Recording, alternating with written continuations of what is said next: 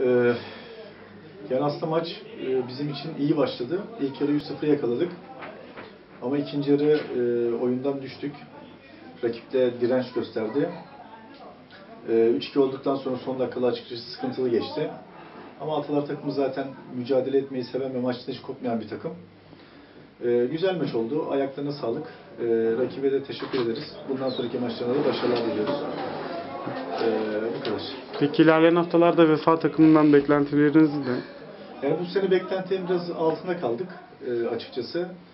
Biraz e, kadro yapımız e, açıkçası yaş olarak biraz yüksek. Genç oyuncularla takviye ederek e, oynamaya çalışıyoruz. Bizim amacımız keyif almak. Çok da açıkçası hani e, illa e, şampiyon olalım, birinci olalım, lider bitelim gibi derdimiz yok. Keyif alıp topumuzu oynamaya çalışıyoruz. E, kalan haftalarda da inşallah bu çizgimizde devam edeceğiz.